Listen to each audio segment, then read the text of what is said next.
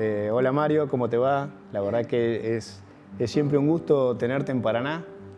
Durante muchos años nos acompañaste en el desarrollo del plan estratégico de nuestra facultad y si bien sabemos que sos un, un especialista en temas de, de planificación y la planificación, creo que lo que más te gusta es la planificación vinculada al Estado, al sector público, eh, me he sentido sorprendido con la escritura junto a, Juan Carlos, la escritura de este libro de la legitimidad de los sistemas políticos.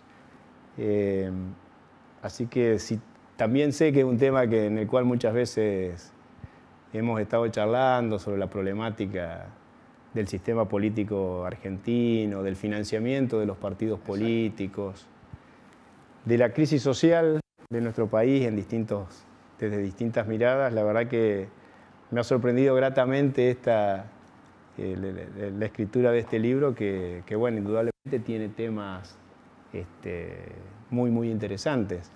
Eh, contame, digamos, un poco cómo vino, cómo vino la iniciativa, qué, qué, es lo que... Eh, la verdad, yo soy licenciado en Ciencias Políticas y en Administración Pública, después hice el doctorado en Administración. Pero, digamos, con Juan Carlos justamente hace como 20 o 30 años atrás teníamos otros libros publicados de ciencia política sobre temas del Parlamento, etc. Los que vos conocés son los tipos libros de administración pública, de organizaciones. Y eh, decidí volver, como uno vuelve a los viejos amores, ¿no? Y, este, y entonces me volví a la ciencia política.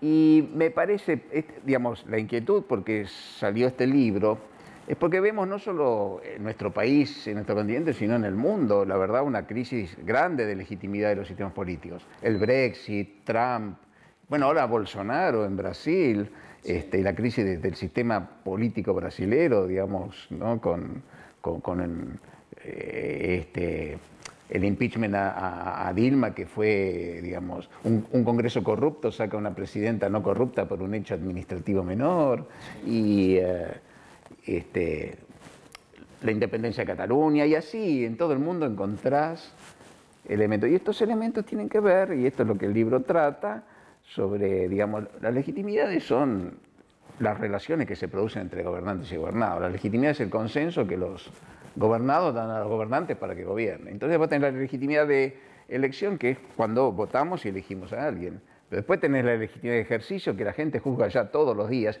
y ni te digo con las redes sociales, este, de lo que pasa. Y vos ves lo que está pasando en Argentina, ¿no? Digamos, bueno, no hay una crisis de legitimidad de la eficacia de gobierno. Esto no lo niega nadie, ni, ni siquiera el propio presidente niega esto, ¿no? Eh, y, y, después hay otras legitimidades de fondo que aparecen, que es el tema del rol del Estado, la legitimidad del Estado. ¿Cuánto tiene que regular, cuánto no tiene que regular, lo público, lo privado? Eh, eso también está en el trasfondo. Y, la gente no se siente interpretada, mediada por estas organizaciones. Entonces incluso surgen nuevas organizaciones, por ejemplo, las organizaciones sociales de base, el CETEP, Grabois, etcétera, estas cosas que aparecen acá y que aparecen en el mundo. Y que aparecen en el mundo después de siempre alguna crisis que dice se vayan todos, ¿no? Sí, bueno, qué tema. Claro, eh, esa es una crisis legitimidad. Que se vayan todos, que acá apareció en el 2001, apareció en España, apareció en Estados Unidos, apareció en muchos lados, este, es porque, digamos, la gente no se siente conforme. No te digo Macron, la crisis que está teniendo en Francia. Y así sucesivamente. Merkel, que está teniendo las, crisis inmigratorias y este, a duras penas tuvo más de un mes para tratar de armar un gobierno de coalición que está bombardeado desde adentro. Y bueno, puedes examinar todo el mundo y, encuentra esto. Y después el libro aborda, aparte de las crisis de legitimidad, también aborda la crisis de legitimidad internacional, porque tenés sistemas de poder que no están, eh, hoy está todo en crisis, sobre todo Trump marca esa crisis, ¿no? Marca la crisis del orden de posguerra y este, dice, no, eh, este orden no, el orden neoliberal no, eh, los intereses de Estados Unidos priman por sobre cualquier otro tipo de cosas, me retiro de acá, me retiro de allá, este, le impongo un nuevo tratado a Canadá y a México y así sucesivamente. Eh, eh, y después, los otros temas que trata el libro, los otros tres temas puntuales son, digamos, qué pasa en lo social y la crisis de legitimidad, qué pasa en lo económico y la crisis de legitimidad, las nuevas formas, las dos cosas, la nueva forma de trabajo, la robotización, este, las tecnologías. Bueno, y esto es las cosas que el, libro va abarcando. Ahora, para mí, que no soy un, especialista en estos temas, lejos de serlo, ¿no? Eh, te escucho decir esto de la legitimidad del voto y, te escucho decir de que bueno, este problema de legitimidad no es un problema exclusivo de, la Argentina, sino que es un tema instalado mundialmente. Ahora, la, sensación que yo tengo es que eh, esta legitimidad en la Argentina pareciera ser que constantemente es una legitimidad de muy corto plazo. Ahora, eh, ¿ese fenómeno es también mundial o o, los argentinos estamos un poco atravesados por esta necesidad de resultados inmediatos que tiene que ver muchas veces con, bueno, a ver, lo, vemos en la cancha de fútbol los domingos, el del director técnico que pierde dos partidos y se tiene que ir, y hacía tres semanas era un fenómeno, el mejor director técnico del mundo. Este, y, eso se repite también a nivel este, bueno, social, económico y demás, que pareciera ser que este, quienes gobiernan tienen que inmediatamente estar mostrando eh, resultados. Ahora, eso, eh, eh, ¿esa legitimidad es, cuestionada de esa manera también en estos momentos a nivel mundial o es un poco mirá, un mirá lo que le pasó a, Cameron en Gran Bretaña por querer ganar una elección. se metió en camisa de once varas diciendo, pensaba que en un referéndum iban a ganar, que metía el tema de la Unión Europea y le iba a salir bien, y le salió al revés, pato gallareta, y están ahí con el Brexit que no saben ni, cómo, salir ni cómo no salir. no saben cómo manejarlo. O sea, hay, hay en Argentina, ya que me preguntaba de Argentina, yo creo que hay crisis cíclicas de 10 años y esas crisis cíclicas tienen que ver básicamente con algo no resuelto que es el tema de la balanza de pagos. O sea, nosotros eh, necesitamos dólares para nuestra industria y obviamente no los podemos tener solamente este, del sector agropecuario. Y la verdad, Argentina tendría que crecer. Como empezó en las exportaciones de bienes de valor agregado de conocimiento y tecnológico, o sea, Argentina es un país que si llegara a 20 o 30 mil dólares per cápita por habitante, resuelve su problema, tiene poca población, no tiene tantos problemas. Ahora, este, eh, ese es el problema. Acá el problema es el desarrollo y fabricar dólares, con lo cual después fabricás para adentro empleo, ocupación para la gente, etc. ahora, con el ajuste, lamento decir, el ajuste, digamos, tiene patas cortas. Este, es un ciclo mucho más corto que el ciclo de 10 años. Este, y vos no sabés cuando, no te puedo decir cuándo va a ser la propia crisis, pero te digo algo mucho más alarmante para la Argentina. Los economistas a nivel mundial están todos pronosticando una crisis para el 2021, 2022, 2023, tipo la del 2008 por la pelota que se está armando, y Argentina para esa crisis hoy está desnuda. Es muy serio. Bien, bueno, ahora, eh, volviendo un poco a lo anterior, vos ¿Crees que esta crisis de legitimidad también tiene que ver en gran medida con la crisis económica entonces? Tiene en gran medida que ver con la crisis económica y también tiene que ver, por eso puse el ejemplo de, Gran Bretaña, con los malos manejos políticos, con los errores, los errores de gestión. O sea, este, digamos, eh, cuando alguien se empecina en algunos rumbos, que los rumbos son equivocados y comete errores y insiste en los errores, bueno, eh, eh, es muy difícil que este, haciendo siempre lo mismo, eh, en lo que te habías equivocado vuelvas a tener un acierto. Si, en, un camino te equivocaste, en vez de cambiar el camino, persistís, vas a llegar a los mismos resultados. O sea, hay obsecación, hay este, egos. en eso puse, por eso en el mundo está lleno de egos. Yo no quiero personalizar en Argentina, ¿no? pero los líderes mundiales, toma todos y toma Trump, toma, este, digamos, lo de Inglaterra, toma eh, Putin, o toma el chino, son todos líderes que cada uno tiene un ego más grande que una casa. este, y cada uno está plantado en sus 40. Algunos, como Rusia y China, tienen proyectos estratégicos a muy largo plazo y hay que tomarlos en serio. Hay otros que tienen proyectos a más corto plazo. los que tienen proyectos a largo plazo son los rusos, los chinos, los alemanes. ¿Y Argentina? Este, no, no, no, no. Mira, Argentina tuvo, pero el que planificó fue Perón, que hizo el Consejo Económico de Posguerra, primer plan quinquenal, segundo plan quinquenal y plan trienal. De ahí para acá nadie planificó más. Y antes, entre peronismos, hubo este, el CONADE, que fue una experiencia bastante importante, exitosa, y que fue de, digamos, eh, del gobierno de Ilía y de los radicales, este, que también fue una experiencia exitosa. Punto. Pero el gobierno de Menem no planificó, después vino Dual, del gobierno de la crisis no planificó, y, tampoco creían los dos gobiernos kirchneristas en la planificación. Y este gobierno tampoco, o sea, es más, mucha gente se pregunta si tiene algún plan. Sí. Mario, y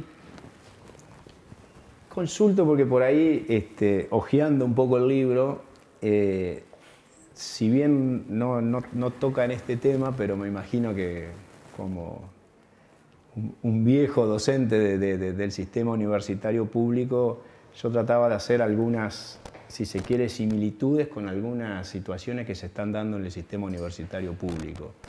Y en donde me parece que este, a 100 años de la reforma universitaria, ha sido un disparador, digamos, el, número de cumplir 100 años para replantearse algunas cuestiones. ¿no? y dentro de ese replanteo me parece que en algunos puntos aparece este problema de legitimidad de quienes conducen el sistema y aparece también hasta algunas cuestiones de legitimidad de quienes nos tocan circunstancialmente este, tener la responsabilidad de gestionar las universidades, de dirigir las universidades. Eh, y por ahí en estos momentos de, crisis del sistema, que bueno, este, todos conocemos, ¿no? de todo este año 2018 que ha sido muy, muy complejo desde lo presupuestario. Unido a lo presupuestario aparece, me parece también, algún problema de legitimidad de quienes conducimos y se mezclan, se mezclan cuestiones, ¿no? Es decir, hay, hay, algunos grupos muy radicalizados que de repente este, de alguna manera están planteando también una, crisis de legitimidad en, la conducción, en la manera de conducción y en cómo seguir hacia adelante. Sí, eh, no sé si tanto. Si vos tomás las encuestas, la, institución que más crisis de legitimidad, o sea, menos legitimidad tiene en la Argentina es la justicia. Es 80% ilegítima. Después vienen los gobiernos, etc. Y la más legítima es la universidad porque la gente lo ve, el ciudadano lo ve como un canal de ascenso social. O sea, la universidad tiene legitimidad en la sociedad y, ojo, hay que aprovecharla porque ese consenso no se debe perder. Ya ves lo que pasa cuando se lo pierde. ¿Y cómo aprovecharla? Porque eso sería la pregunta. Bueno, la universidad está en la centralidad del desafío del mundo que viene y la resolución de los problemas que los argentinos tenemos. Porque si nosotros decimos que lo que nos faltan dólares y lo que tenemos que exportar, lo que vamos a tener que exportar es conocimiento. Entonces hay que producir una asociación virtuosa entre la universidad y el sistema productivo y el Estado, que forma parte de la universidad, es el viejo triángulo de sábado, este, donde, digamos, la universidad no tiene que tenerle miedo a la asociación virtuosa este, de producir conocimiento junto con el sector privado, que le va a ayudar a tener financiamiento, que es un problema que le falta a la universidad, pero además va a contribuir sustancialmente al país a producir cosas nuevas que se puedan colocar en el mundo. Y eh, nosotros, yo te digo, hay cosas que ya existen que hay que potenciar y otras nuevas que no existen que habría que crear. O sea, Argentina, es cierto, está bien, que Está bien que explote su campo porque, porque este, digamos, le genera dólares. Está bien que, o sea, todo el campo y agroindustria, todo lo que viene relacionado, digamos, para no exportar commodities, sino eh, primarios y primarización de la economía, sino eh, exportar valor agregado. Exportar maquinaria agrícola, sí, todo eso está fenómeno. Minería, fenómeno. Vaca muerta, petróleo, fenómeno. Pero después tienes que avanzar en otras cosas.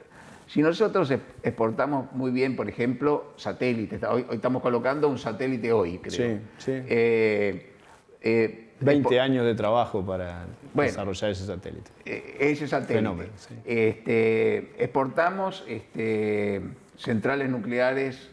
Bien, eso que es el CAREN, bueno, habría que pasar de la producción artesanal a una producción un poquito más industrial y en vez de... Entonces, yo tengo que negociar en términos de intercambio. Si vienen rusos o chinos y me traen una o dos centrales nucleares de las clásicas grandes, yo te tengo que decir, bueno, pero ustedes me tienen que comprar 40 carems y, exportar eso, o lo fabricamos juntos, o juntos los exportamos al mundo para generar ese valor agregado. Después, biotecnología. La Argentina eh, eh, exporta mucho eso. Exporta medicamentos, más de lo que se sabe.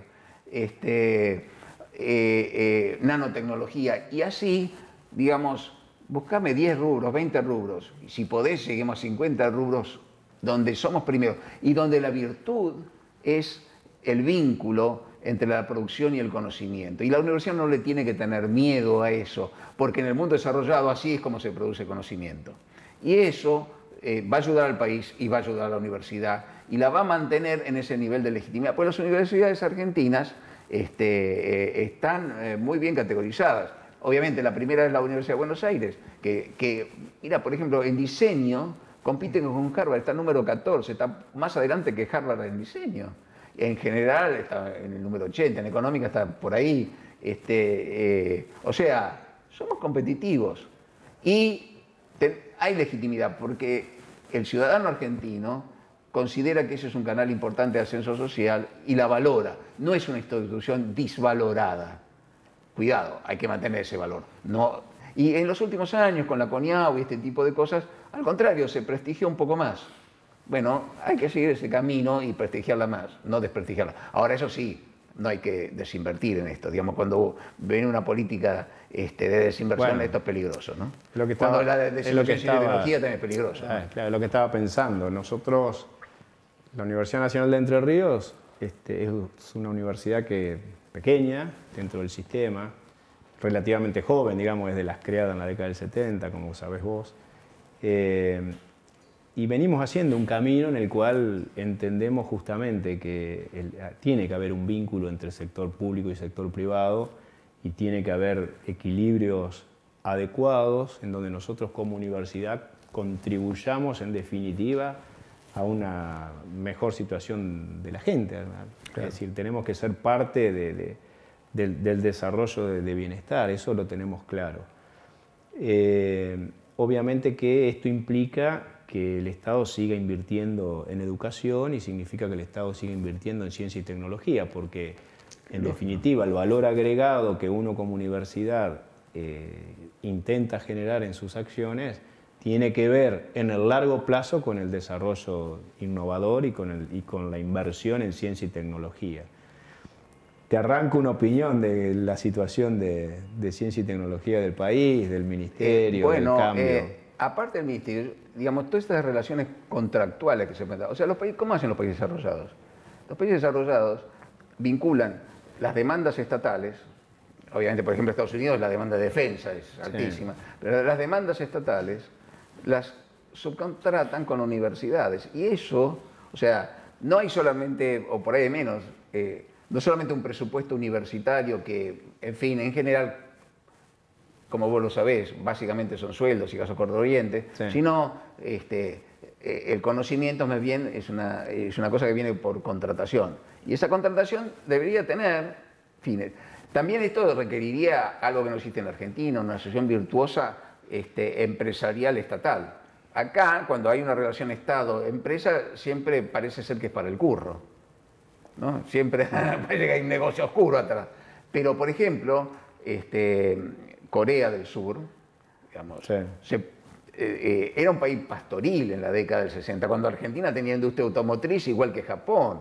Este, y se propusieron producir, este, digamos, uh, electrodomésticos, televisores y cosas en el mundo, ser número uno. Bueno, bueno, puede ser número uno en todo, pero pone 10 cosas en donde vos querés ser número uno y ahí esforzate, en la universidad, en el conocimiento, en los contratos de ciencia tecnología, en el sector privado y proponete eso. Y eso sería como la industria de punta. Después, protege a, la industria propia. Obviamente no, no, trates de, importar, porque hay un, nivel de industrial medio de pequeñas y medianas empresas que generan empleo. Entonces, obviamente, protege tu industria textil, tu industria de zapatos, hay gente que se equipó y, o por tipo de cambio atrasado o por una apertura indiscriminada de importación, hoy, este, digamos, echaron a la gente y en lo mejor de los casos son importadores y en el peor de los casos bajaron la persiana. Bueno, eso, eh, eh, eh, y eso, esos bandazos cíclicos de la Argentina, que no podemos decir un norte, después viene un gobierno y puede ir 5 grados a la derecha o 5 grados a la izquierda, pero no que vayamos a los bandazos cada 10 años y entonces finalmente no tenemos norte de país. Ese es el problema. Volvemos un poco a esto de las de pensarnos en el mediano y largo plazo siempre, ¿no? Es que no hay otra forma. Ahora, cómo, cómo, salimos y cómo arrancamos esa dinámica de la relación pública-privada. ¿no? Eh, nosotros, por ejemplo, digo, desde el lugar que nos toca, que, nos toca hoy ocupar, nosotros estamos este, justamente preocupados por ese enlace. ¿sí? Y estamos generando una mesa de diálogo en donde, por un lado, entendemos que tiene que haber una, una pata política, por decirlo de alguna manera, que nosotros la tenemos identificada este, con la convocatoria este, del Estado a, funcionarios, digamos, este, representativos del Estado provincial, los legisladores entrerrianos. Eh, tiene que haber necesariamente una pata de ciencia y técnica y de desarrollo, que es la que pretendemos de alguna manera cubrir nosotros con, con las habilidades que, que tenemos en nuestros recursos humanos. Y estamos intentando ver cómo encontramos actores del sector privado representativo de lo que sería en nuestro caso, bueno, de sectores virtuosos de la provincia de Entre Ríos. Dentro de los cuales uno de ellos es, por ejemplo, el farmacéutico, eh, en donde Entre Ríos y, en especial en algunos sectores de la provincia eh, se han desarrollado este, bueno, determinados productos farmacéuticos que se exportan y se exportan a Estados Unidos. Miramos, qué importante. Y en eso, bueno, la universidad como acompañado, acompañado con una tecnicatura este, en, farmacia, con una tecnicatura en medicina nuclear, eh, que vienen de la mano, por ejemplo, en estos casos de la carrera de bioingeniería. Pero bueno, ahí este, tenemos esta dificultad o esta cuestión a, ser este, cuidadosos en cómo encontramos actores privados que bueno, no estén pensando en qué le sacan al Estado, ¿no? sino que estén pensando en cómo suman, ¿Cómo suman con el Estado. Todos se potencian. El, privado, obviamente, si vende más, exporta más, va a ser más negocio. Ahora, eso también tiene que, ese vínculo tiene que derramar en un, en, un financiamiento para la universidad, que le está dando conocimientos, recursos formados. Entonces, eh, es una mano este, lava la otra y las dos lavan la cara, más o menos, ¿no? Es algo así. Eh, se tiene que ayudar. O sea, es, una, asociación virtuosa, eh, no es una asociación, este, digamos, de piratas. Porque el problema en Argentina es eso, digamos. Eh, me asocio con el Estado para ver qué le saco y, contractual. ¿Qué, contrato, qué curro, qué, sobreprecio? No, eso se, tiene que terminar. digamos, sino que cada uno cumpla con su rol legítimo y, este, y en ese rol legítimo la universidad tenga más recursos, paga mejor a sus profesores, puede tener mejores aulas, puede tener mejor equipamiento, mejores cosas, y el otro hace su ganancia empresaria, digamos, algo normal, digamos, justo, tiene que ser justo y tiene que ser percibido para que sea legítimo, justo por todos. ¿no? Porque hoy el mundo es vidriera, a ver, eh, lo, que nosotros estamos hablando, este, por ahí uno hace un comentario, hace un WhatsApp, alguien dice, opina, retuitea. Hoy estamos todos en la vidriera y, este, y, mañana estamos vos y yo comiendo en un restaurante y nos sacan una foto y mirá, Sabela y que están comiendo. ¿Cómo, ¿Cómo, salimos de la crisis de legitimidad? ¿Se sale o no se sale? ¿Se, se, administra? ¿Se gestiona? ¿Qué, qué es lo que.? no, las crisis de legitimidad eh, se resuelven con participación ciudadana. O sea, digamos, como el ciudadano es el que otorga legitimidad, eh, eh, en la medida que cuanto más se incluya la participación, más fácil es que tengas legitimidad. Pero la participación no es algo formal. Cuando alguien participa, tiene que sentir que su participación es un aporte y que algo pasa y que algo cambia. Porque si haces mil reuniones simplemente para decir te escuché y después hago lo que quiero, eso no es participación ni te otorga legitimidad. Otorgar legitimidad es pulsar consensos, eh, generar acuerdos. eh, poner contrarios en contacto para que se produzcan balances sociales, este, promedios, eh, eso es construir legitimidad. Este, y esa legitimidad construye el otro concepto que se suele llamar hoy en día, que es construir gobernabilidad. Gobernabilidad se construye también de eso, con que, este, digamos, siempre va a haber extremos y algunos que no quieren saber nada con nada, pero el resto de la gente en general, eh, digamos, quiere ser escuchada, quiere participar y quiere, digamos, que su vida sea mejor. Ahora, ¿cuándo? Resultado de las gestiones públicas y de las políticas públicas y de, los gobiernos o de y los tipos de Estado y los tipos de régimen y sistema político, cada día yo vivo en peor, ahí se acabó la legitimidad. Por lo menos la legitimidad de ejercicio. Y entonces queda la de la votación. Y entonces ahí te resuena la frase de Churchill que la democracia es el peor de los sistemas de gobierno, pero no se había inventado ninguno mejor. Entonces te resuena eso, pero eso termina siendo una cáscara vacía. O sea, no, es simplemente las instituciones formales. A esas instituciones formales hay que llenarlas este, de representación. Si no, no funcionan. Y esa es la crisis de legitimidad. Y es una, hay que ponerlo al día porque eh, hoy podés pulsar este, la opinión del ciudadano hoy día un celular, alguien te puede decir me gusta, no me gusta, viste como vos decís, votás, esto me gusta, no me gusta, me gusta, no me gusta, y aparece en todas las redes. Y saben lo que vos ponés y después te mandan la propaganda en función de lo que a vos te gusta y lo que no te gusta, ¿no? Bueno, quiere decir que la participación se puede pulsar. Ahora, no basta eso solo, porque la sola participación no da el rumbo y la gran orientación. Eh, eh, aquí hay otro problema de la democracia por, por, lo cual tampoco se puede dejar de lado los sistemas de representación y de articulación de intereses. ¿Por qué? Porque si vos estás pensando en el largo plazo, vos tenés que tener eh, eh, grandes avenidas por las transitar y no podés estar eh, subordinado simplemente a un humor social circunstancial. Yo te recuerdo, por ejemplo, para poner un, ejemplo que no sea actual y no sea tan conflictivo, este, el tema de Bloomberg. ¿no? Entonces, de golpe Bloomberg, inseguridad, pum, leyes, ah, leyes duras, draconianas. pasó algo, no cambió nada con la inseguridad. O sea, el humor es muy voluble. Entonces, hay que incorporar los llamados de atención de las personas, porque evidentemente, por ejemplo, la inseguridad es un problema y ha sido un problema que sigue siendo. Mm. Y sigue siendo por muchas razones mucho más complejas que simplemente poner agentes en la calle. Eh, por el narcotráfico, por la exclusión, por un, eh, montón de cosas, por la falta de empleo, digamos. Eh, Hoy por hoy las crisis van a, ya, anticipo, va a haber más, porque en Argentina lo enseñó el 2001. Las condiciones objetivas que antes eran las condiciones revolucionarias, hoy este, el cambio es delincuencia, en realidad. No, no es revolucionario, es delincuenciación. Mm. Este, y, cuando vos tenés crisis, este, aumenta esto. ¿no? Entonces, eh, digamos, volviendo al tema anterior, eh, la política es para la planificación, para el largo plazo, para, su rol está en pensar en el largo plazo. Ahora, conspira contra eso el sistema electoral, porque nosotros, creo que ha sido un error de la reforma, eh, hacer mandatos de cuatro años. Mandato de cuatro años, tener elecciones cada dos. El primer año que alguien llega al gobierno empieza a, saber cuál es la botonera.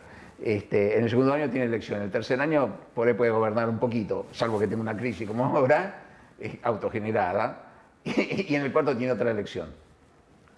¿Y entonces cuándo gobierna? O sea, me parece que habría que volver a mandatos de seis años, capaz que sin reelección. Entonces, este, digamos, todo este problema de que, como los americanos tienen cuatro años, pero sin reelección. Entonces, nadie quiere eternizarse. Lo mismo pasa con los mandatos en todos lados. Vos fíjate, eh, así como en las universidades, este, ya no hay reelecciones y este, hay dos mandatos y nada más.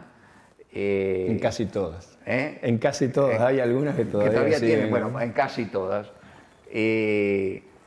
Todas las organizaciones sociales, todas las sociales, las empresariales, las sindicales, los municipios, las provincias, todas, la verdad, tendrían que tener limitaciones de mandato, porque si, digamos, a ver, la lista verde, el Partido Verde es bueno, seguimos votando el Partido Verde, pero no seguimos votando a Pedrito del Partido Verde.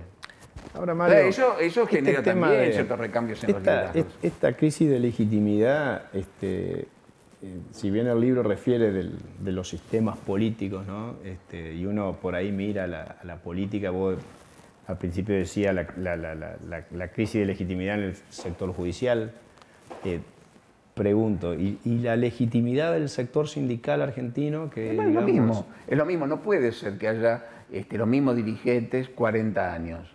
Entonces, ahí tenés que poner un límite, un mandato, dos mandatos, y si la lista verde es buena, seguirá gobernando la lista verde del sindicato tal. Pero eh, eh, con diferentes Juan personas, Pérez con diferentes personas al menos. Claro. Con, el, hijo, el hijo del, hay, y el hijo del hijo. muchas veces, pero por lo menos que haya rotación. Pensando en la, en la cuestión un poco ya más, más política, más electoral, eh, indudablemente esa crisis de legitimidad atraviesa a todos los actores, digamos.